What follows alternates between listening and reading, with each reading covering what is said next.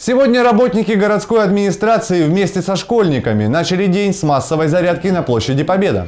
Под музыку они выполняли указания спорт-инструктора Анны Клеменчуковой. Несложный комплекс физических упражнений помогает не только улучшить здоровье, но и поднять настроение на целый день. К группе спортсменов с удовольствием присоединялись обычные прохожие.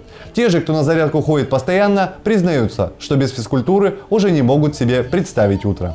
Без зарядки не выживешь. Оно хоть немножко дает такую бодрость телу, просыпаешься и можно на работу. А на площади еще лучше, это на воздухе. Ну и плюс заразительно, очень много людей рядом. Хочется показать, что умеешь.